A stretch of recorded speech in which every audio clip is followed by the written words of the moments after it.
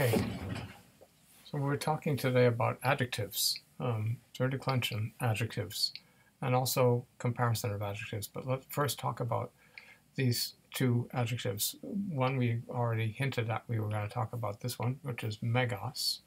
Um, the word means big, okay, quite simply, and it functions in the same way. The forms are the same, show the same pattern as the word polus, polei, polu, the word that means much and many. Um, we talked about it. That is the four corners of the paradigm. We kind of messed up the corners because we've got vocative forms, but the ones that Felicia has just put the beautiful yellow asterisks next to are the ones that have third declension endings, mega, mega for the neuter, and megos and megon for the not masculine nominative and accusative singular. All the other forms have a different stem, megal, and then they're inflected like agathos, agathe, agathon.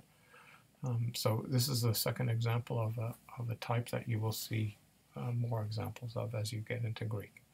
You've got a, an old adjective that's been renewed with second declension or first declension adjectival forms because the third declension is irregular and older and getting displaced in the as the language evolves. Okay, um, here's the second uh, adjective, uh, and this. So we're talking about the the the other third declension adjective deuce, which is really we're not talking about deuce, the word for sweet. It's actually cognate with the English word sweet. In other words, it once was deuce. Okay, become deuce um, it's it's really a third declension adjective. It hasn't been renewed the way polus and megas have been. So it preserves the old forms. And you remember we've seen recently what happens with you in as a form and in, in uh, as a as a vowel before declension endings. Lacey's amused. um, and, and, that is it becomes W and then it disappears. So remember, if the if the if the suffix after the the the U or the W begins with a vowel, becomes a W and then it disappears. So anyway, here's here are the forms of heidus, and it represents a really large class of words, right? heidus, El Rus, and so forth, so forth. So there are a lot of words that have this pattern. So there's the nominative with the S of the third declension nominatives, hey deuce. The third declension genitives end in os. So what happens is you get a, a, a, a, thematized stem in the genitive and the dative that you see throughout this word.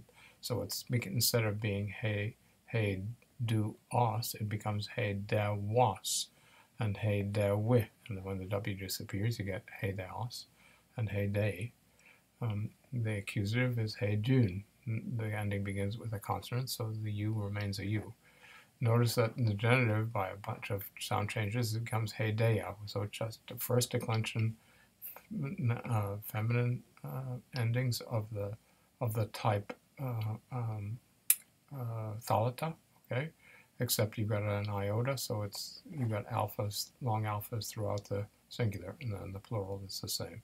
So there are no surprises in heidea, heideas, and so forth.